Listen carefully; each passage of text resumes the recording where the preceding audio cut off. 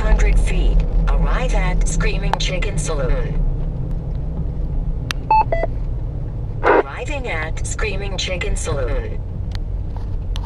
Oh, wow. but he's aware golf cart three may or may not have been charged enough. It was not. It is, I guess, stuck behind the big pool, the main pool. So I have the key, and it needs to be charged and brought down. There's only two I cars said I'll check out on, on it after I'm done here uh, with this other situation. Great. Thank you so much, Jason B.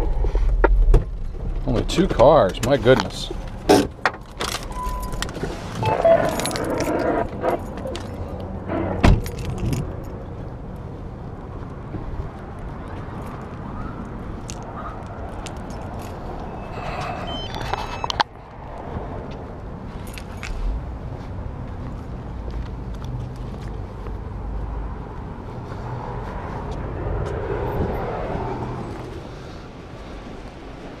How you doing?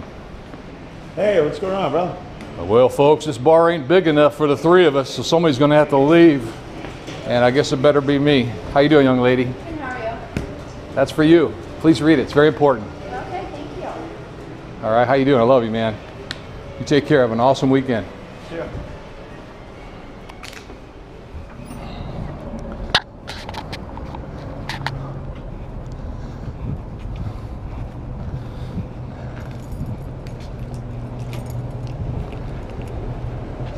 That was easy.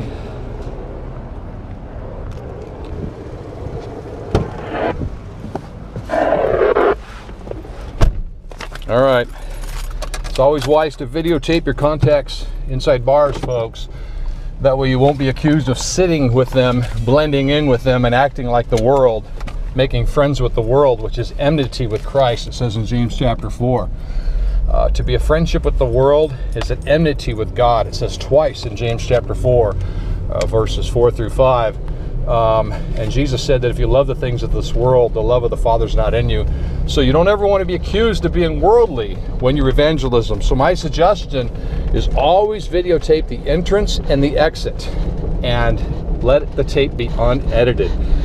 Besides that, what if a, a Christian driving down the street, not in the bar, saw you leaving the bar, or your pastor?